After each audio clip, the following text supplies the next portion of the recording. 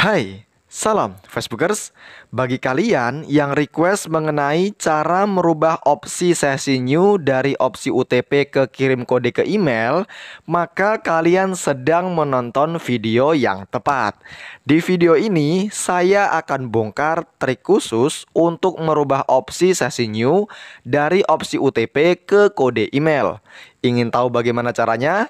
Simak sampai selesai. Akun Facebook yang saya gunakan pada tutorial kali ini adalah milik salah satu sobat subscriber yang sudah DM ke Instagram saya. Ingat ya, bahwa saya tidak pernah minta bayaran ke penonton lewat apa pun. Kalau ada yang minta-minta duit pakai nama saya, jangan dipercaya. Orang tersebut adalah pelaku penipuan. Oke, jadi cerita diawali pada tanggal 5 Juli 2021. Pada saat itu, seseorang sobat subscriber DM lewat Instagram saya.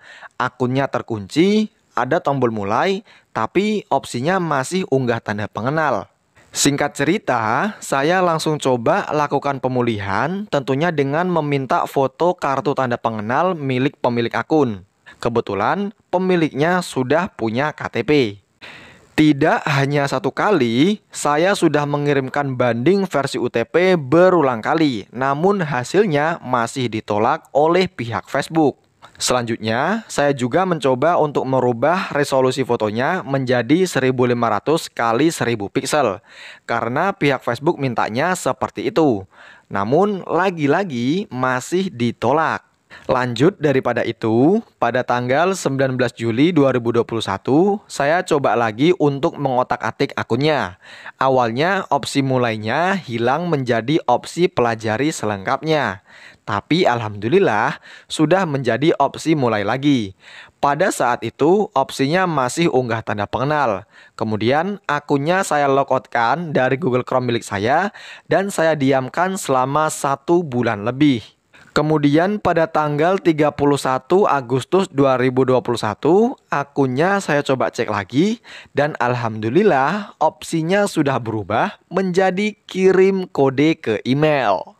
Agar lebih real, saya coba untuk melakukan pengecekan ulang pada tanggal 3 September 2021 yakni hari Jumat pukul 20 lewat 06. Pada video kali ini, saya menggunakan aplikasi Google Chrome yang biasa. Ketikkan saja pada menu pencarian dengan kata FB. Kemudian silakan masuk ke websitenya Facebook. Masukkanlah data-data akunnya. Kemudian klik masuk. Bisa dilihat akun ini logo gemboknya sudah seperti ini dan sudah ada opsi mulai. Langsung saja saya klik tombol mulai. Kemudian saya pilih selanjutnya. Dan alhamdulillah opsinya sudah berubah menjadi dapatkan kode melalui email. Langsung saja saya pilih menu ini. Untuk email yang terkait di sini alhamdulillah masih aktif. Kemudian saya pilih dapatkan kode.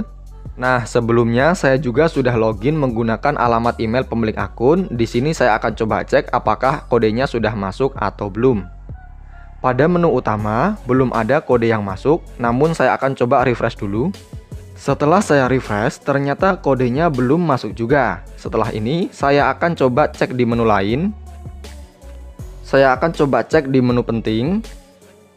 Ternyata belum ada kode yang masuk juga. Kemudian saya coba lagi menuju ke halaman utama email. Dan saya coba untuk merefresh lagi. Namun kodenya belum juga masuk. Perlu diperhatikan ya teman-teman, kemungkinan setiap akun akan berbeda hasilnya. Walaupun sudah ada opsi email, kemungkinan ada yang masuk kodenya dan ada yang belum. Untuk di akun ini, ternyata kodenya belum mau masuk. Tapi jangan khawatir, insya Allah tutorial agar kodenya bisa masuk saya akan bahas di video selanjutnya. Minimal kalian pada tutorial kali ini sudah bisa mengetahui cara ubah opsi dari UTP ke kode email tanpa harus menggunakan settingan-settingan APN atau sejenisnya. Di samping itu, saya juga harus segera mengerjakan request dari teman-teman yang lain. Selamat mencoba ya!